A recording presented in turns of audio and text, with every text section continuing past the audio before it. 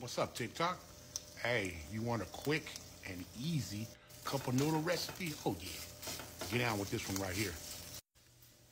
I use spicy pork in this one. You could use any kind of meat you want.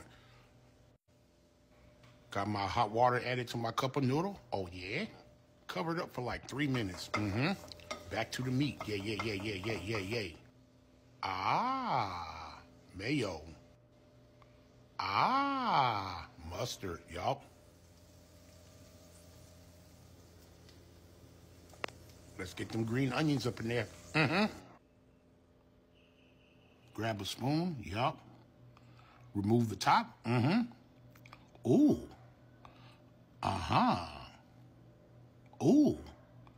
Uh-huh. Yeah. Go to work. Get it, girl, get it, girl, get it, girl, get it. Okay, nice and creamy. Oh, the meat. Yeah, yeah. Drop it.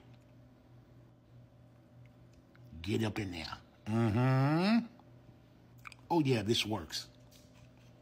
A nice, nice banger. Get it.